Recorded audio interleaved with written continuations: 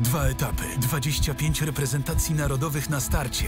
Bez kalkulacji, bez zawahania. Czysty sport. To właśnie Orlen Wyścig Narodów. Część prestiżowego cyklu UCI Nations Cup U23.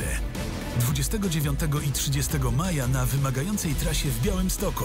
Znakomici kolarze będą się ścigali dla siebie, dla drużyny, dla swoich krajów. Zapraszają prezydent miasta Białystok, marszałek województwa podlaskiego i Czesław Lang.